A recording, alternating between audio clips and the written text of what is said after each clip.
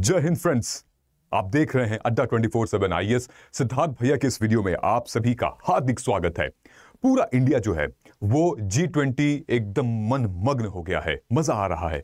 दिल्ली जो है, वो एकदम फोर्ट्रेस की तरह सजा दिया गया है। मैं अभी अभी सेंट्रल दिल्ली से होते हुए आया हूँ। बड़ा सुंदर लग रहा है यार। मतलब feeling so proud that India is hosting G twenty मज़ा आ गया। लेकिन उसी में कुछ बड़ी बड़ी खबरें भी आ रही हैं हमारे माध्यम से वो कवर की जाएँगी। वो खबर सबसे पहले तो ये है कि अफ्रीका यूनियन को जी ट्वेंटी का हिस्सा बनाया जा रहा है। मतलब जी ट्वेंटी से जी ट्वेंटी वन होने वाला है। या फिर अफ्रीका यूनियन को अगर जी ट्वेंटी का हिस्सा बना दिया गया तो किस किस कंट्रीज़ को फ़ायदा होगा? जी ट्वेंटी में कोई भी अगर या किसी भी G seven G eight G nine कुछ भी अगर हो अगर उसमें से कोई कंट्री को ऐड या माइनस किया जा रहा है तो उसकी बहुत बड़ा रीजन होता है। अब इसका क्या रीजन है कि जी ट्वेंटी में अफ्रीका यूनियन को ऐड करेंगे? अफ्रीका यूनियन भैया, जिसमें पचपन कंट्रीज़ हैं और पूरे विश्व की गरीब पॉपुलेशन भी यहाँ रहती है। ऐसा क्यों कर रहा है जी ट्वेंटी किसको फ़ायदा होने वाला है? किसी को फ़ायदा होने भी वाला है या फिर नुकसान होने वाला है? आज हम पूरा इस वीडियो को कवर करेंगे। इसी में बड़ा इंटरेस्टिंग टॉपिक है। आराम से देखिएगा, गोली मत दीजिएगा, वीडियो को एंड तक देखिएगा। बहुत डिटेल में समझ में आएगा। और सबसे बड़ी चीज़, जो अफ्रीका यूनियन की अगुवाई कर रहा है, कौन? European union. यूरोपियन यूनियन ने बहुत पुरजोर कोशिश की है कि हमें तो भैया चाहिए। यूरोपियन यूनियन ने कहा, हमें एयू चाहिए जी ट्वेंटी में। आइए, इस पूरे वीडियो में हम ये जानते हैं। लेकिन उससे पहले हम ये भी जानते हैं कि सिविल सर्विसेज़ के एग्जामिनेशन में हम बहुत भ्रमित होते हैं, क्योंकि ये बहुत लंबी जर्नी होती है। किसी के लिए एक साल, किसी के लिए चार, किसी के लिए छः किसी के लिए काफ़ी लंबा समय होता है। रोज़ हमारा कॉन्फिडेंस धज्जियाँ उड़ जाती हैं उसकी। लेकिन हमें एक ऐसा मेंटोर चाहिए जो कि हमें गाइड कर सके। मुझे पता है आपको मेंटोर की कमी है। मुझे पता है आपको गाइडेंस की कमी है। कमेंट सेक्शन में गूगल फॉर्म है। उस गूगल फॉर्म को आप फिल करिए। जैसे आप उस गूगल फॉर्म को फिल करेंगे, आप अपनी सारी डिटेल्स शेयर करिए, हम इंश्योर करेंगे कि आपका आने वाला जो टाइम है, वो एटलीस्ट आप गलत रास्ते पर मत जाओ। एटलीस्ट हम ये सोच करेंगे कि एटलीस्ट आप प्रिलिम्स क्रैक करो। प्रीलिम्स को क्रैक करने के लिए हम पुरजोर मेहनत कर रहे हैं। तो गूगल फॉर्म है नीचे, उसमें जाइए, अपने बारे में लिखिए, बताइए, और हमारी टीम आपसे कांटेक्ट करेगी। हम रियली रियली हेल्प करना चाहते हैं आपको। चाहे आप स्कूल में हो, कॉलेज में हो, फुल टाइम तैयारी कर रहे हो, जॉब के साथ तैयारी कर रही हो, आप आ जाइए। सिद्धार्थ भैया के मेंटोरशिप में बहुत सारे बच्चों ने एनरोल किया है। मुझे आपका भी इंतज़ार है। I really wanted to help you guys और आपके सपोर्ट से हम बहुत बड़ा कुछ करेंगे। आइए, इस न्यूज़ को आप डिटेल में समझते हैं। हर तरफ़ चर्चा है। चर्चा क्या है कि European Union is looking forward किस लिए? अफ्रीका यूनियन को परमानेंट मेंबर बनाने के लिए। जी ट्वेंटी जो है, वो बेसिकली मेंबरशिप देने वाला है अफ्रीका यूनियन को। Africa Union will now be granted हर तरफ़ ये न्यूज़ काफ़ी तेज़ी से फैल रही है। क्यों फैल रही है? क्योंकि रिसेंटली ये लोग अराइव हुए मेरे ख्याल से आज सुबह या कल रात को मैं श्योर नहीं हूँ। जी ट्वेंटी के मेंबर्स जो अफ्रीका यूनियन के जितने मेंबर हैं, ये लोग पहुँचे हैं दिल्ली और कुछ बड़ा होने वाला है। ठीक है? अब क्यों बड़ा होने वाला है? अब सुनते हैं, ठीक है? ध्यान से सुनिएगा और गूगल फॉर्म को ज़रूर फिल करना मत भूलिएगा। अफ्रीका यूनियन को जल्द ही शायद परमानेंट मेंबरशिप मिल सकती है जी ट्वेंटी में, क्योंकि ये अगुवाई इसकी यूरोपियन यूनियन कर रहा है और भारत भी इसके पक्ष में है, ठीक है? लीडर्स जो एक्सपेक्ट कर रहे हैं, हो सके तो 9 या 10 तारीख को इसकी अनाउंसमेंट हो जाए। मतलब कि जब हेड ऑफ़ स्टेट्स कल परसों मुलाकात, ज़िक्र बात करेंगे तो कल अनाउंसमेंट हो जाएगी। ये ऐसा सूत्रों के हवाले से खबर आया है, और ये लोग तो खैर आ भी गए हैं, ठीक है? अब देखते हैं कि भाई इसका मेन प्रमोटर कौन है। भारत को क्या फ़ायदा होने वाला है? भारत के प्राइम मिनिस्टर नरेंद्र मोदी जी ने एक स्टेटमेंट किया है प्रायोरिटी की है to grant African Union full membership Bharat को क्या एक स्ट्रेटेजिक पोजीशन एक स्ट्रेटेजिक सपोर्ट मिलने वाला है अफ्रीका यूनियन कंट्रीज़ से, ठीक है? वैसे भी पीस कीपिंग ऑपरेशन भारत भेजता रहता है वैक्सीन भेजी है भारत ने अफ्रीका में भी। तो जॉर्जिया मेलोनिया जो कि इटली की हैं, उन्होंने एडवोकेट किया है, ठीक है? उन्होंने अगुवाई की है एक तरीके से, वकालत की है on behalf of Africa Union कहाँ पर? जी सेवन में। जब जी सेवन जापान में हुआ था तो इटली से तरफ़ से आवाज़ आई थी कि भाई हमें चाहिए। यूरोपियन यूनियन कह रहा है अफ्रीकन यूनियन को मिलाया जाए जी ट्वेंटी में। साथ ही साथ में जो अफ्रीका यूनियन हेडक्वार्टर्स इथियोपिया में इसका हेडक्वार्टर है तो जर्मन चांसलर ओलफ स्कोल्स अपना एक्सप्रेस करते हुए उन्होंने ज़िक्र किया है कि होपफुली जी ट्वेंटी में हम आपको इनकॉर्पोरेट करेंगे आपकी बात हम जी ट्वेंटी मेंबर्स के साथ रखेंगे। तो इन लोगों को मेन प्रमोशन मिल रहा है और साथ ही में ईयू यूरोपियन यूनियन को सबसे बड़ा बेनिफिट होने वाला है अफ्रीकन यूनियन से। वो क्या है? ये सबसे बड़ा आ, समझने वाला सेशन है ठीक है? आइए जानते हैं। जो चौथा रीजन है वो ये है। European Union is keen to take some credit for African क्यों? नंबर वन नंबर वन है कि ईयू जो है वो एक हाई लेवल मीटिंग होल्ड कर रहा है। ईयू और एयू भारत में ही एक हाई लेवल मीटिंग होल्ड कर रहा है, जिसको मिनी समिट कहा जाता है। ईयू के लोग आ रहे हैं भाई, ठीक है? आएँगे, आज सब लोग आ जाएँगे।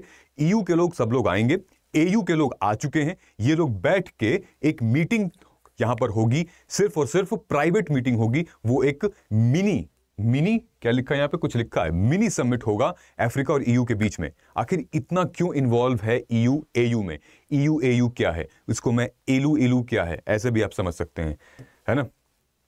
अब देखिए सबसे दो इंपॉर्टेंट चीज़ें हैं क्यों यूरोपियन यूनियन जो है वो इंटरेस्टेड है अफ्रीकन यूनियन में। नंबर वन आपने ये न्यूज़ तो सुनी होगी कि रशिया यूक्रेन वॉर वाली। आपको पता ही होगा कि आ, जो यूक्रेन ग्रेन डील थी है ना? The crisis of food grain due to Russia's pull out UN grain deal basically Russia ने ग्रेन डील को आ, मतलब यूक्रेन से पुल आउट कर लिया है। यूक्रेन में जितने भी ग्रेन्स हो रहे थे ना वो एक चैनल के थ्रू एक चैनल के थ्रू पहुँच रहे थे यूरोपियन यूनियन में और अफ्रीका में। तो रशिया ने उस पोर्ट को हटा दिया है उस पोर्ट को ब्लॉक कर दिया है जहाँ से यूक्रेन ये सामान भेज रहा था। सो so बेसिकली क्या हो गया? बहुत प्रॉब्लम हो रही थी।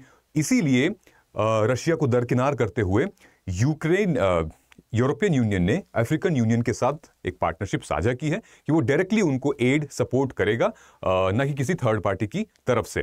ठीक है? तो ये और इस पर हमने एक सेशन भी लिया हुआ था, जब यूक्रेन ग्रेन डील वाला मामला हुआ था तो पुतिन साहब ने बहुत बड़ा फैसला लिया था। पुतिन साहब का कहना था कि बेसिकली ये एक टेन्योर कॉन्ट्रैक्ट था, वो कॉन्ट्रैक्ट खत्म टेन्योर खत्म, बात खत्म। ठीक है? अब दूसरा सबसे बड़ा रीजन है साहिल रीजन ऑफ़ अफ्रीका ये बड़ा क्रूशियल है, बहुत इंपॉर्टेंट है। साहिल रीजन ऑफ़ अफ्रीका ये जियो पॉलिटिकली बड़ा ही क्रूशियल है, ठीक है? क्योंकि आपको पता है, मैं आप क्यों ये रीजन इंपॉर्टेंट है? ये हमारा है पूरा सहारा ठीक है? हमारा अफ्रीका कंट्री पूरी, लगभग पचपन कंट्रीज़ हैं अफ्रीकन यूनियन में पचपन कंट्रीज़ ये ऊपर का पूरा एरिया जो है, वो सहारा डेजर्ट और नीचे का सवाना ग्रासलैंड है। ये जो बीच का एरिया है, उसको साहेल एरिया कहते हैं। क्यों? ये इंपॉर्टेंट क्यों है? क्योंकि कहा यह जा रहा है कि ये जो ग्रासलैंड है ना, सवाना ग्रासलैंड कहीं ना कहीं ऊपर की तरफ़ जा रही है और डेजर्ट कहीं ना कहीं इंपैक्ट कर रहा है, या तो कम हो रहा है, नहीं तो उसका प्रभाव थोड़ा सा कम है। तो ये जो एरिया है बीच का, ये डिवाइड करता है हमारा डेजर्ट को और सवाना ग्रासलैंड को, ये बीच वाला एरिया और यही एरिया है, वो बड़ा ही क्रिटिकली और क्रूशल इंपॉर्टेंस है। इस एरिए की वजह से काफ़ी क्लाइमेट चेंजेस है। ये बहुत रिच रिसोर्सेज रिच मिनरल्स हैं इसमें। अभी आगे देखते हैं हम लोग क्या है। ठीक है? कौन कौन सी कंट्रीज़ आती हैं साहिल में? Mauritania, Mali, Niger, Chad, Sudan और नाइजेरिया। ये कुछ ऐसी कंट्रीज़ आती हैं इस वाले एरिया में। और एक और आती है रेट्रिया।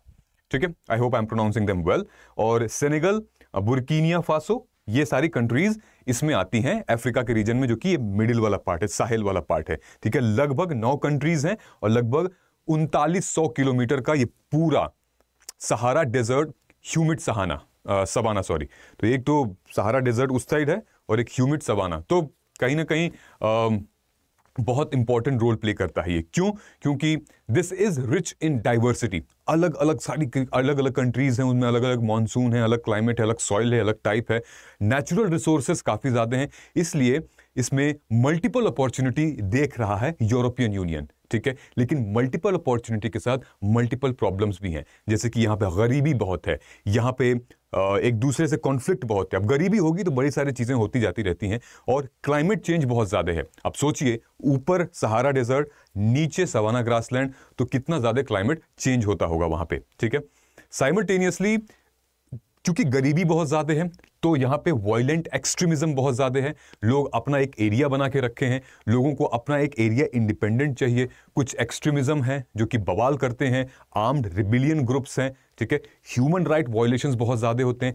Violence against women and children बहुत ज़्यादा होते हैं यहाँ पे। तो ये भी बहुत इंपॉर्टेंट रीजन है। जो भी कंट्रीज़ यहाँ पे इन्वेस्ट करने आ रही है, वो इन इश्यूज़ से ज़रूर फाइट करेगी।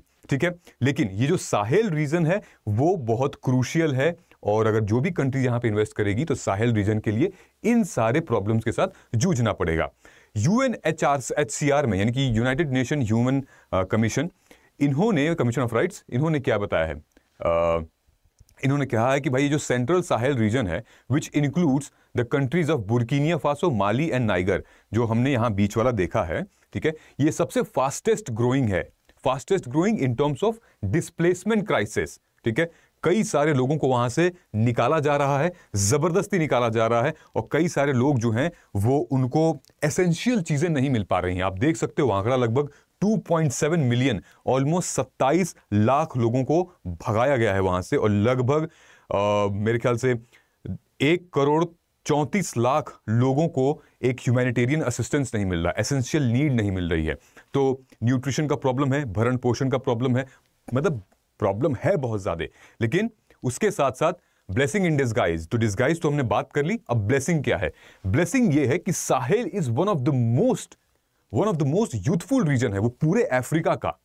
अब जानते हैं, जहाँ यूथ, वहाँ एनर्जी, वहाँ पावर है और वहाँ पे क्रिएटिविटी है, वहाँ पे इकोनॉमी। अगर आप यूथ को सही चैनलाइज कर दिए तो फिर आपकी जो इकोनॉमी है और जो सोशल ट्रांसफॉर्मेशन है बूम कर जाएगा। जैसे भारत जो है, वो उसका डेमोग्राफिक डिविडेंड वर्ल्ड में सबसे ज़्यादा है। डेमोग्राफिक डिविडेंड काफ़ी ज़्यादा है मतलब यूथ भारत में बहुत ज़्यादा है। तो इसलिए हमारा जो सोशल ट्रांसफॉर्मेशन है और जो हमारा इकोनॉमिक ट्रांसफॉर्मेशन है, वो बहुत ज़्यादा है, ठीक है? पॉजिटिव ग्रोथ में।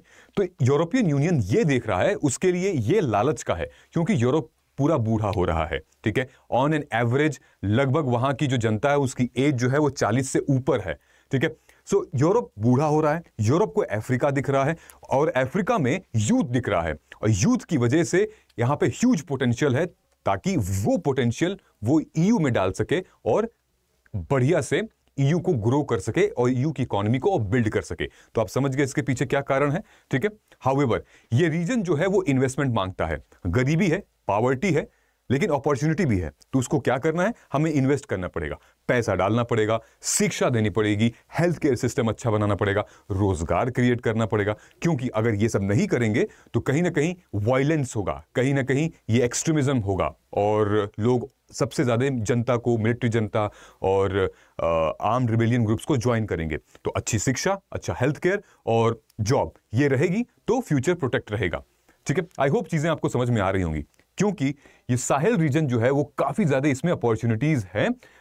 अपनी इंटरनेशनल कम्युनिटीज़ बहुत इसमें रुझान ले रही हैं, बहुत इंटरेस्ट ले रही हैं। और जो यहाँ के लोकल एक्टर्स हैं, जो लिटरली हेल्प करना चाहते हैं अपने लोगों को, वो लोग इंटरनेशनल जो मार्केट प्लेयर्स हैं, उनके साथ साझा कर रहे हैं। और शांति पे रेजिलियंस पे ह्यूमन डेवलपमेंट पे फ़ूड पे पावर्टी पे ये लोग इस पर काम कर रहे हैं। सो अच्छी बात है, बहुत अच्छी बात है। अगर आपका किसी से फ़ायदा हो रहा हो और आ, आप उनसे फ़ायदा निकालने की कोशिश करो उससे उनका फ़ायदा हो रहा हो उनका भरण पोषण हो रहा हो तो वो बहुत अच्छी बात है ठीक है? ये जो एरिया आप देख रहे हो ये हमारा वही वाला रीजन है जो कि साहिल वाला रीजन है। यहाँ पर आप देख सकते हो सारी यूरोपियन कंट्रीज़ जो हैं कुछ कुछ कंट्रीज़ ऑलरेडी कोई ना कोई प्रोसेस कोई ना कोई चीज़ें कर रही हैं जैसे कि सीएसडीपी मिशन हो गया G five Sahel European Union capacity building mission European Union training mission European Union border assistance mission ये सारे मिशन जो हैं, यहाँ पे कंडक्ट कराए जा रहे हैं। यूरोपियन यूनियन द्वारा बहुत बड़ा सपोर्ट मिल रहा है साहेल वाले रीजन को। अब आपका क्या कहना है? क्या जी ट्वेंटी में एयू को इंक्लूड करना चाहिए या नहीं? क्या यूरोपियन यूनियन के डिमांड्स को और उनकी सबसे बड़ी नीड को जी ट्वेंटी सुनेगा या नहीं? आपकी क्या राय है? भारत को कितना फ़ायदा हो सकता है अफ्रीकन यूनियन को लाने में? ये आप कमेंट करके बता सकते हो। और सिविल सर्विसेज़ के एग्ज़ाम्स में दोस्तों, मेरे पीछे जो स्क्रीन है, वहाँ पर वही बैच है जो आपको हमेशा से चाहिए था। अब लैंग्वेज का कोई बैरियर नहीं होगा। अगर आपको बाइलिंगुअल बैच ज्वाइन करना है तो रॉब टू। 4.0 है। अगर आपको सिर्फ़ प्योर हिंदी माध्यम में ज्वाइन करना है तो आपको ये बैच है। और अगर आपको रायसाना हिल मतलब सिर्फ़ इंग्लिश माध्यम में पढ़ना है तो ये बैच है। इसके लिए आपको क्या करना है? कॉल करना है इस नंबर पर और बोलना है मुझे सिद्धार्थ भैया से बात करनी है। Make me to speak with Siddharth भैया because he is my mentor I he will guide me and I will be glad to assist you I will be glad to help you just make sure that you fill the Google form you fill the Google form और फिर आप जो है uh, वो इससे भी कम price point में आप एनरोल कर सकते हैं। मिलते हैं हम लोग अगले वीडियो में। कमेंट करके बताइएगा वीडियो कैसा लगा। तब तक बहुत बहुत शुक्रिया। जय हिंद, जय भारत।